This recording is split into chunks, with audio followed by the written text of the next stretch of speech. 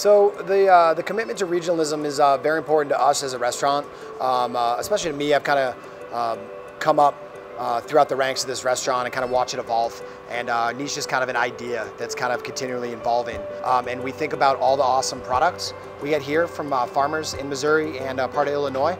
And we really just want to let that stuff shine. So you start to develop these relationships with farmers and the land and the city that we work with. And it kind of just becomes more important.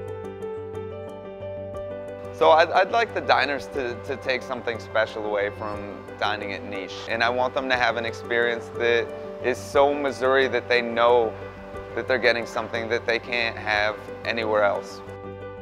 Um, some of the feedback we get from guests is uh, all over the place. You know, if you just kind of put this food in front of them um, and you don't really talk about the story or what we're trying to do, they're going to kind of be like, well, we're at, you know, a four-star restaurant, so where's the lobster? Where's the foie gras? Where are the truffles? Um, you know, we can get any of that stuff whenever we want, you know, later today if we wanted to. But the thing is, it's super important is we're trying to express our regionalism and our terroir, and uh, in doing so, we can't use those ingredients. So once we start um, talking to guests and start telling them our story about you know how we're making our own cheese, how we're making our own miso, um, and doing things like that, really to go above and beyond to give us the control that we want, so we can make them happy.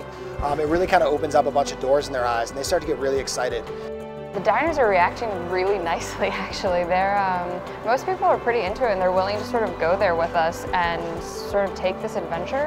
Um, but when I'm using things like miso ice cream and I'm using beets in a dessert form, there's definitely some eyebrows raised, but they, they seem to find it kind of cool, and especially when they find out that it really does taste good.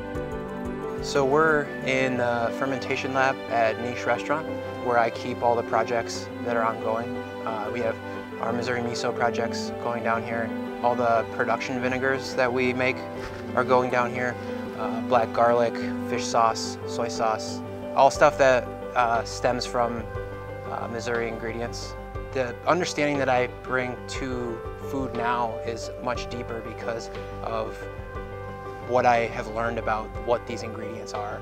Um, that really makes our food stronger, I think, knowing that we really know what the process is behind everything that goes on the plate. That helps us, helps the narrative of what we're doing, you know what I mean? Uh, helps us tell the story. I think this opens up a bigger conversation of what don't we have here and why don't we have it?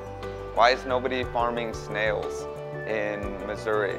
You know, uh, what's going on with our fish production, fish farming? Uh, can that be increased? And uh, what channels are we going through to make our rivers better? You know, how are we, how are we taking it to another level? And I think with that need starts the conversation. Our team's had a tough time with it, no doubt. It's been uh, a huge challenge, but when I polled at one point, when I polled our kitchen to say, how do you guys really feel about what we're doing? How do you feel about these limitations? Is it important to you? And unanimously, everybody emailed me back saying, this is what keeps us pushing every day. My initial reaction with the restrictions was a little bit of shock.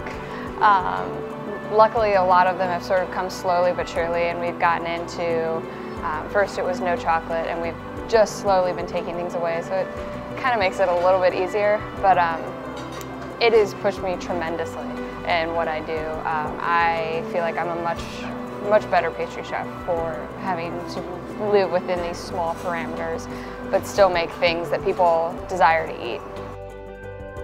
Uh, basically, it's just a constant evolution of uh, creativity, conversation, and dishes. And just kind of, the more we do this, the more we kind of understand um, our style of food.